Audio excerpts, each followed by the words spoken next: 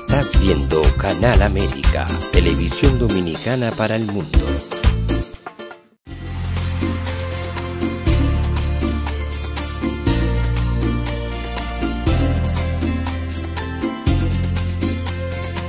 A Time for Truth show is sponsored by the Office of Dr. Bernard Fialkoff, a periodontal, dental implant, and laser specialist in New York City for over 40 years. Dr. Fialkoff was honored by the International College of Dentists and Pierre Fauchard and received the Presidential Lifetime Humanitarian Honor from the White House. Call us at 718 229 3838. Sometimes life can be so damn hard. You don't know where to go. Everything keeps falling apart. Yeah. Try to do your best, but only God knows that you've given everything you've got, but the world takes you down you just keep moving on.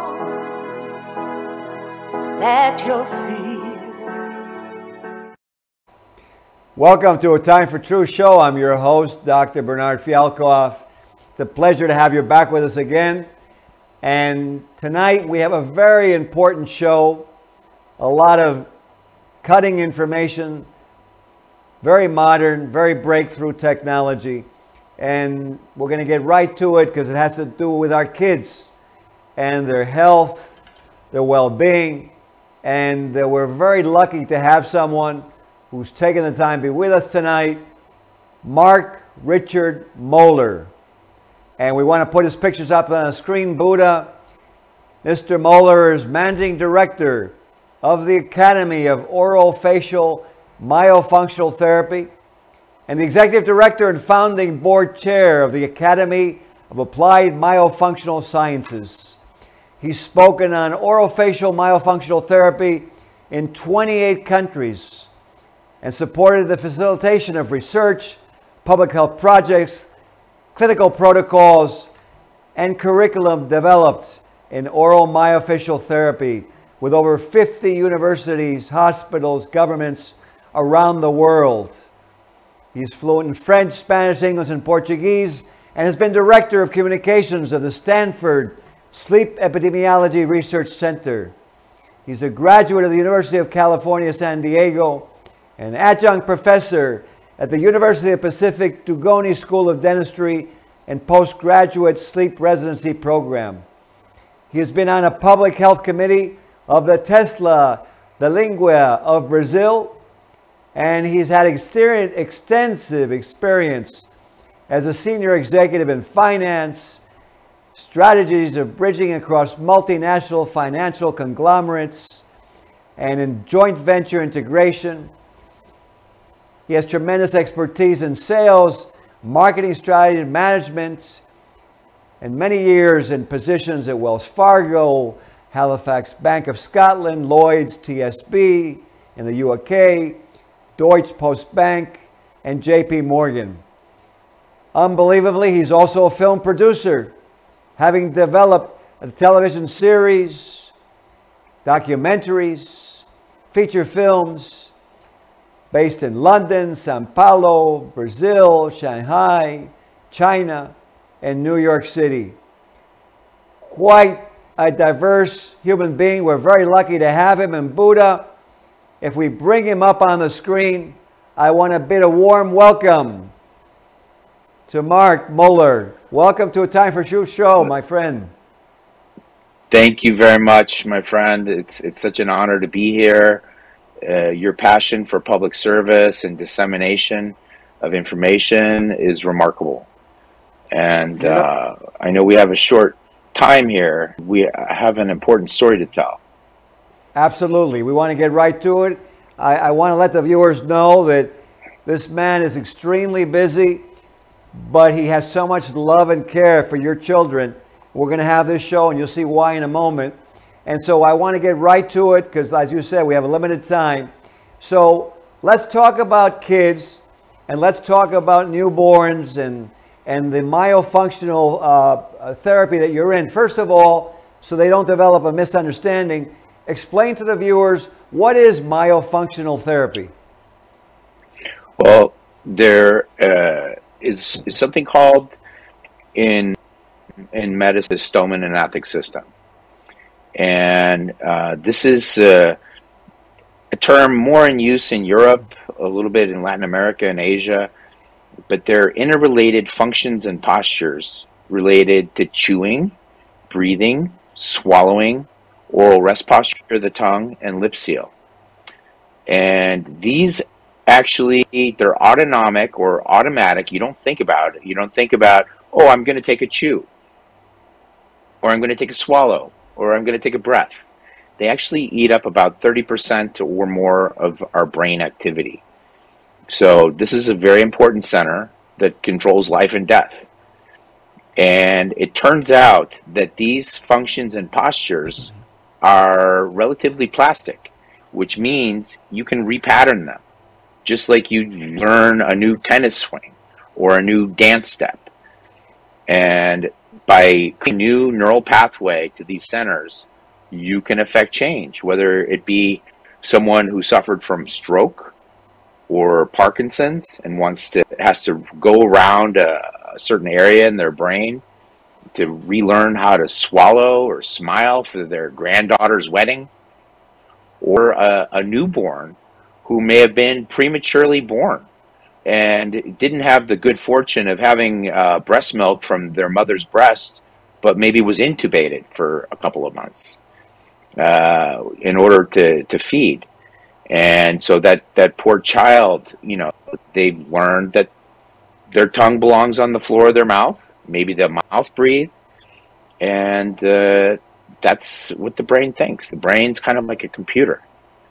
And so, what does that mean for people, for humanity? There are over a billion people who have an advanced state of disease called obstructive sleep apnea. This is when the tongue uh, closes the back of the airway and the oxygen level desaturates. The oxygen in the blood goes down because someone's essentially choking. Um, this is a very advanced disease state, which downstream from there, or to put it another way, it results in the major killers of our time obesity, cancer, heart disease, hypertension, diabetes, Parkinson's, Alzheimer's. This is known. These are scientific facts.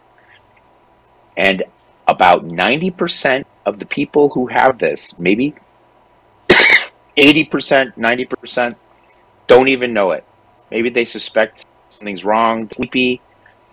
Maybe up to 60% of traffic accidents result from this sleepiness. And uh, hold on, you've got another billion people who have another sleep disorder called sleep disordered breathing. This might be snoring, this might be upper airway resistance syndrome, which can have the same impact and effect as sleep apnea, or it, it can actually be a precursor state. So we're saying at least 2 billion people, and there's practically no public health guidance around what to do. There's no education in the schools. And this is a scandal. And I, I put in an application to do some graduate work at the Yale School of Public Health, which is, I'm so honored to be here in, in New Haven, uh, in order to, to help push sleep into public health through this vehicle of myofunctional therapy. Believe it or not, the World Health Organization has zero guidance around sleep. Can you believe that? Unbelievable. UNICEF. They're not even aware, they're not even aware of Zero. Wow. Well, there, there's an effort, a committee with the World Sleep Society, which is, you know, chipping away at making progress. Uh, the, the first definition of oral health actually came out in like 2017, 2018, led by a think tank with the World Dental Federation led by Michael Glick and David Williams. Uh, Michael Glick was at Buffalo. Uh, he's now in a private institute at Penn. And David Williams is at St. Mary's uh, College in London. Uh, they're uh, experts in dental public health. And uh, we, I have great sense of urgency about this. As you mentioned, thank you for looking at my biography. You know, I have other interests, other things that I love to do. I have uh, two cats and a dog, two boys that I love, August and Nico. Hi, August. Hi, Nico. I call them the Tigers. And, you know, I have a great urgency to do something. It's as if, you know, you're walking down the street and you see a house on fire, right? And the window's open and you you see there's children in there, like maybe a baby in a in a crib and he's screaming. And you know you can reach in the window and pull this child out. Well, who wouldn't do that? Everybody would do that. And you know, I just happen to be able to see this. My mother, Joy Moeller, is a pioneering leader in this emerging field of medicine, orofacial myofunctional therapy. Uh-huh. And we have a great sense of urgency. So I got kind of sucked into helping her out. And when I grew up around this, she missed my birthday a lot because she was lecturing in Copenhagen or Brussels again, or and uh, you know she had a bunch of crazy friends who really passionate about science and helping people, and uh, so I, I thought I would help them out. My mom's like, "Dying, you've got to do something. You with all of your organization and development skills, you know, you gotta you gotta do something." So anyway, I, I got uh, kind of uh, shanghaied into organizing a symposium on, on how to advance this. Started that about 13, 12, 13, and that led to a symposium at University of California, San Diego, uh, where we had about 60 people from 15 countries with the assistance of a foundation called, that was called the Center for the Health Professions, which is housed at University of California, San Francisco, looking at future delivery of healthcare models.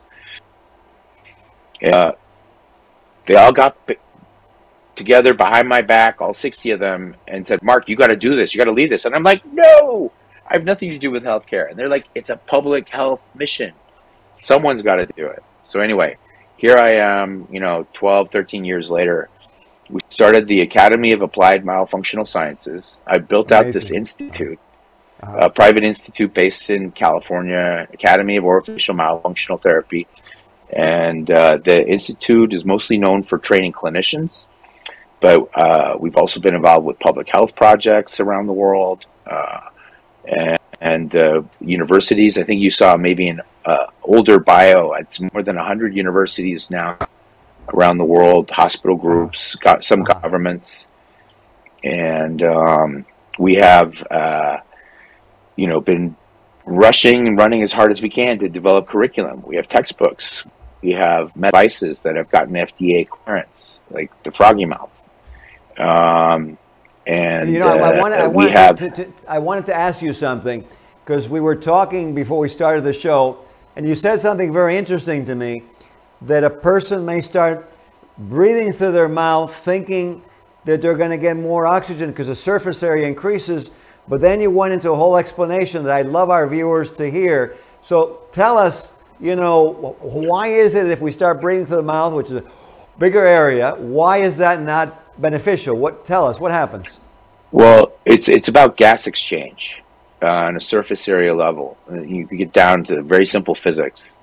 You know, um, when you're breathing through your nose, you're not only filtering the air, warming it up. There's a little gas exchange passing on nitrous oxide, um, but uh, you're restricting the flow and the volume. And when you're breathing through your mouth, you're breathing more volume of air. So people who are mouth breathing can be breathing, you know, seven times as much air as, you know, a nasal breather. And because they're exhaling, you know, there's a bigger surface area, they wind up losing and dissipating their carbon dioxide. And the carbon dioxide molecule in the blood is necessary for hemoglobin to attach oxygen. And so, what they might wind up experiencing is low oxygen. And for a baby or a child or an adult or a senior citizen, these are all consequential, especially as the brain is developing. And we know that the, the human brain is pretty much growing until someone reaches around the age of 26. But if a child, for instance, breathing, you know, maybe they had an allergy and their nose got stuffed up and they started breathing through their mouth and it's stuck. You know, the brain is like a computer. You know, you tell it what to do and that's what it does. It doesn't it doesn't really know any better. There could be instincts. If you look at animals in nature, you don't have any mouth breathing except for overbred breeds of dogs. You know, if a horse is mouth breathing, they they euthanize it.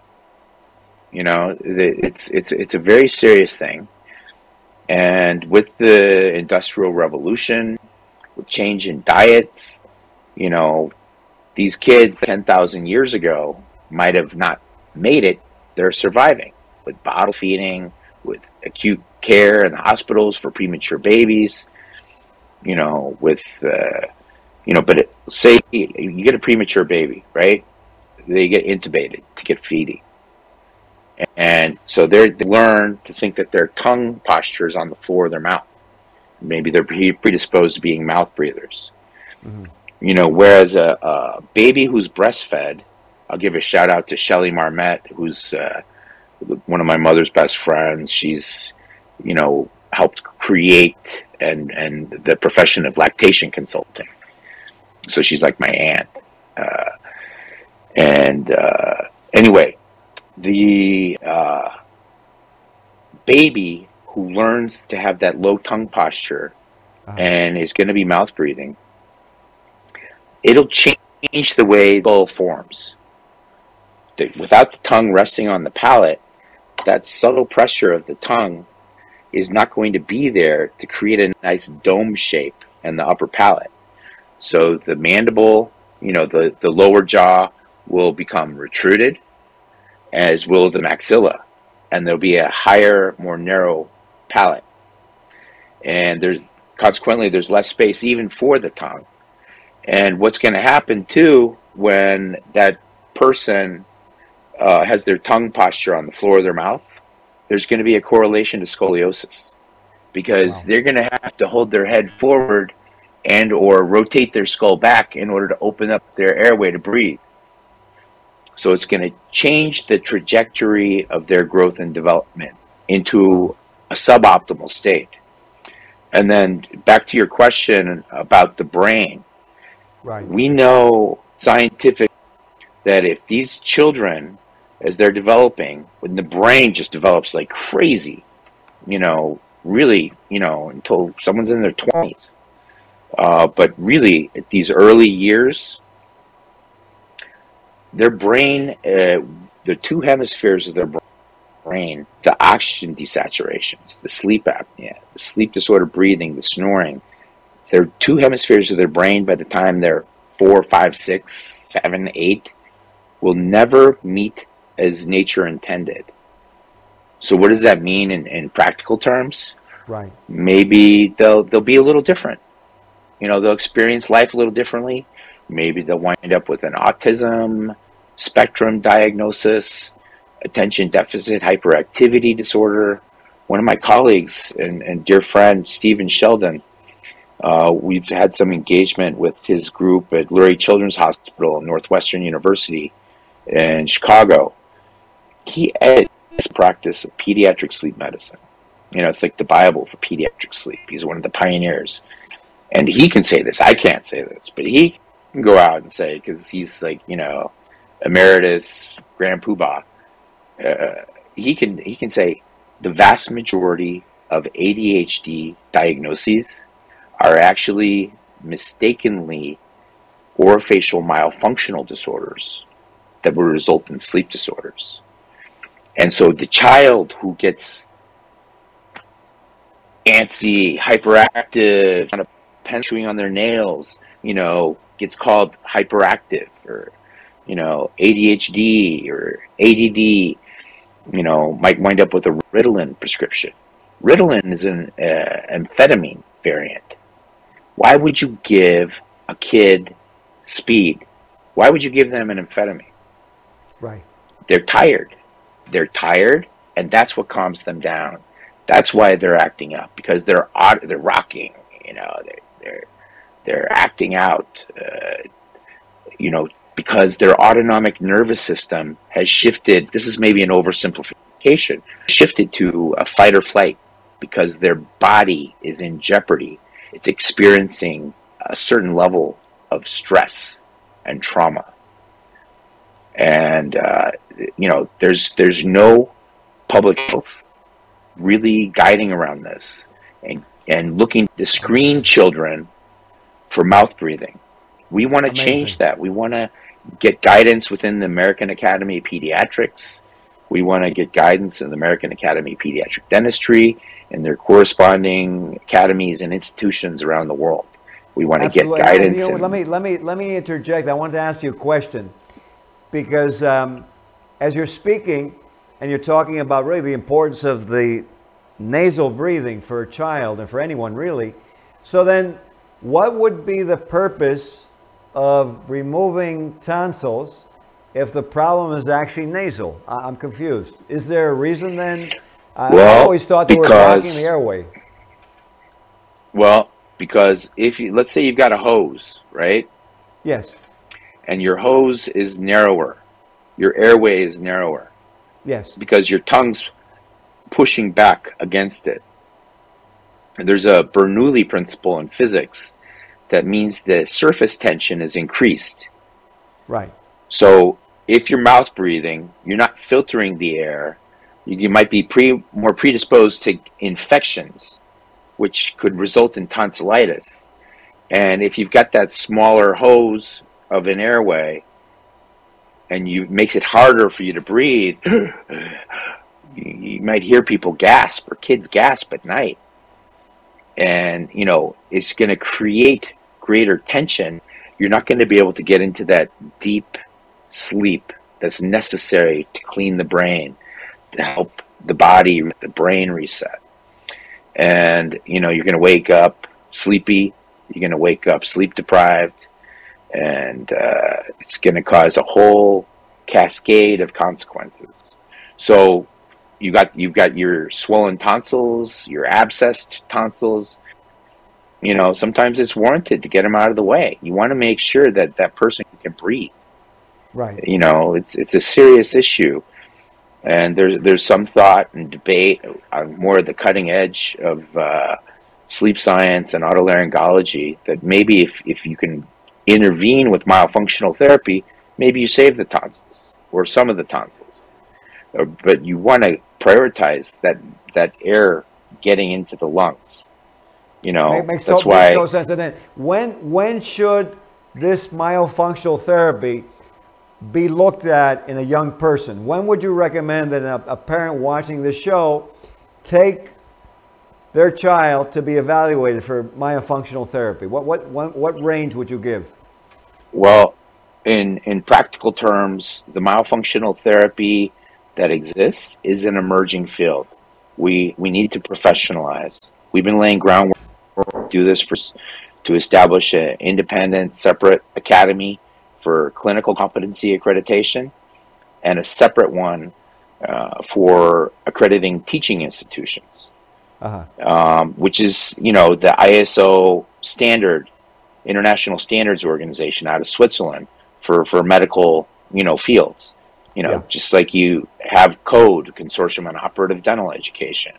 You know, you've got your, your state boards, etc. So, um, so myofunctional therapy in practical terms typically is uh, giving instructions with exercises, sometimes interdisciplinary, should be practically all the time. Could be collaboration with an orthodontist, uh, a surgeon, you know, to removals. Or in an adult who's had that high narrow palate for 30 years or 50 years, maxillary expansion, distraction osteogenesis, maxillary expansion brilliant surgical technique that's been pioneered out of Stanford with Stanley Liu and Audrey Yoon.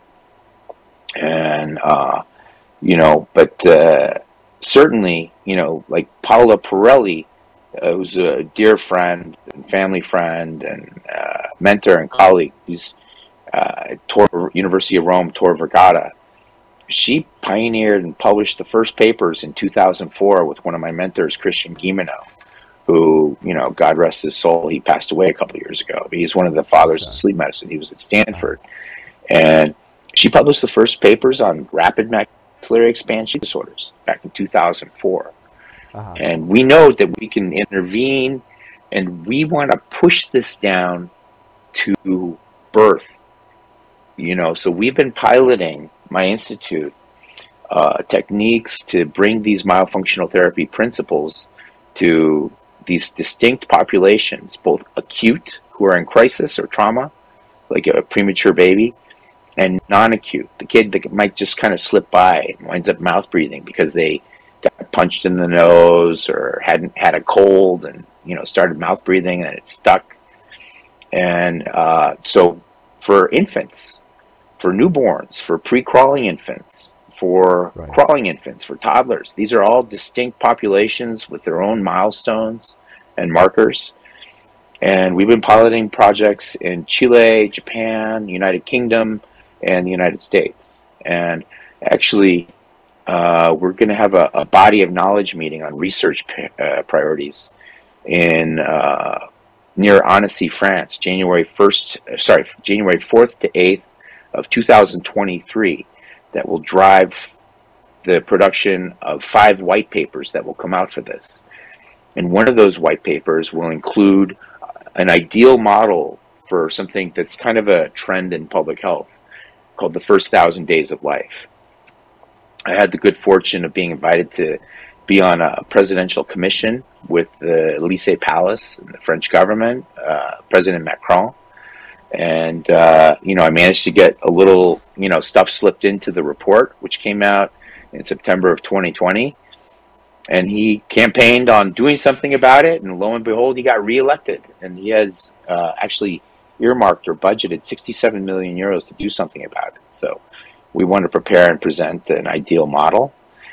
And kudos to you know the Republic of France for showing initiative. This is also a European Parliament directed initiative where all countries in Europe are pushed to do something about this.